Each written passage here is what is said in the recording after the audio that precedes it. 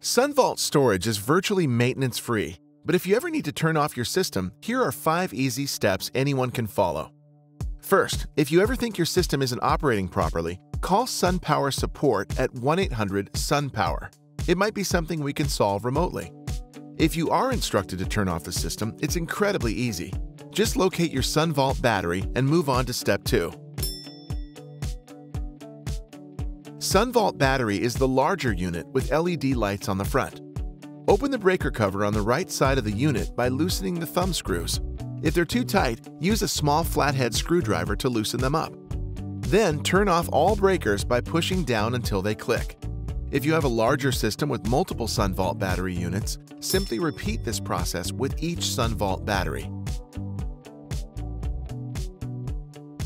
Next, open the door of the Hub Plus by opening the two latches on the right side of the enclosure.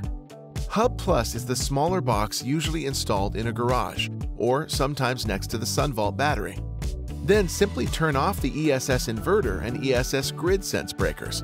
Leave all other breakers on unless directed otherwise. Lastly, to prepare your home for grid power, insert a small flathead screwdriver into the hole labeled Microgrid Interconnect Device and turn it counterclockwise about one half of an inch. If it doesn't turn easily, then it's already in the on position. It's as simple as that. And remember, all your home circuits are protected by circuit breakers. And most or all of them will be in the Hub Plus as well. If instructed by SunPower support, reset a circuit breaker in Hub Plus as shown here.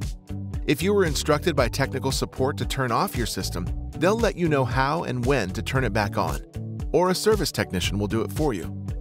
We hope you enjoyed this short tutorial. Thanks for watching, and be sure to check out more SunVault videos at sunpower.com slash welcome-guide.